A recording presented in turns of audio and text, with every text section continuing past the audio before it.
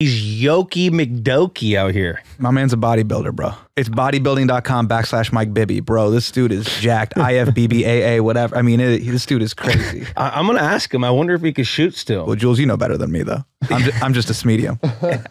We sound so lame talking about being yoked. We're two. Pinocchios over here talking talking muscles. What,